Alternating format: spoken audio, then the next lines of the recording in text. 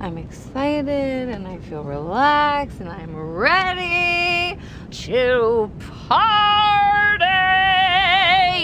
with the best of them.